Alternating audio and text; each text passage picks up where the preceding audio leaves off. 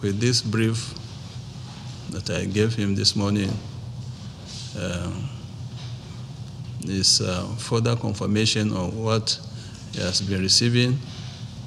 And so far, so good. He's impressed with the performance of the troops in the Northeast. And uh, the efforts put so far uh, has paid off.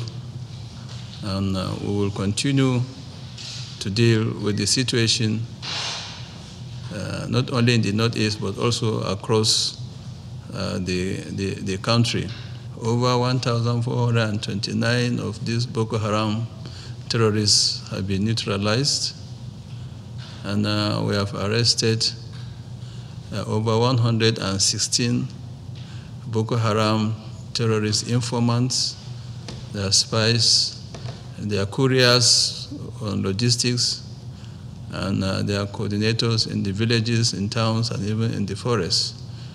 So uh, this is a tremendous achievement.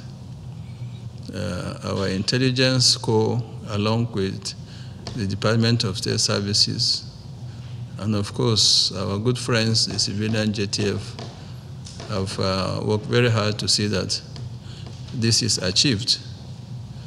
And I assure you, um, things will continue to improve.